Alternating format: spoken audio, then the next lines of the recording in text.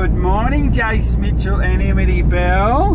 We're in the car and we're coming to visit someone. I wonder who that could be, and I got some friends with me. Look, we're coming to see Jayce and Immity Belle. We got Buzz, and there's little Jess, and Woody and the cars, and we're coming up to visit you today. We're driving, and we've got the wipers on.